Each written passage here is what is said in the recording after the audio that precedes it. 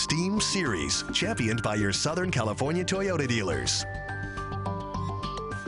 It's time for this week's STEAM series and our focus, engineering and math. KCAL9's Chris Holmstrom introduces us to a Corona tough as nails contestant. His path goes something like this. From mixing concrete as a toddler to a 32-year career as a carpenter. Now 54 years old, Lamar Hanger teaches carpentry in the wood shop at Fontana High School. Oh, and his side hustle?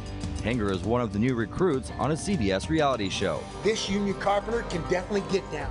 It was a long journey. It actually changed my life. Hanger says his road to tough as nails started long before he was born. I'm a third generation carpenter. I guess you can say it's in my DNA. In his family, as soon as you could pick up a hammer and you could swing a hammer, you were out working and building. Hanger helped build or restore dozens of Southern California landmarks.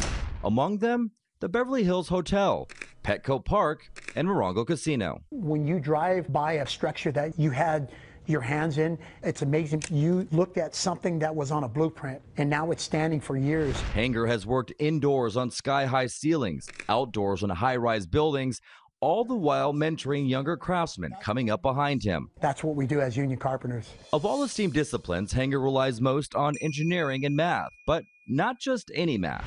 Construction math is a little different. Angles have to be accurate, measurements have to be precise. To get to the right numbers, you've got to get good with fractions. 3 sixteenths is half of 3 eighths. If you want half of 3 sixteenths, you just double the bottom number. He knows what it's like to struggle with learning disabilities. As a kid, dealing with dyslexia and reading numbers backwards, I'm thinking I'm just not going to be able to function in life. But with help from his family and the Southwest Carpenters Union, Hanger was able to navigate around his disability by learning to think on his feet and work with his hands.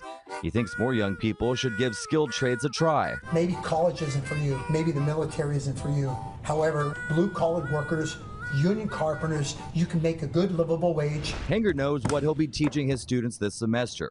It's the same message he hopes to convey to his tough as nails fans.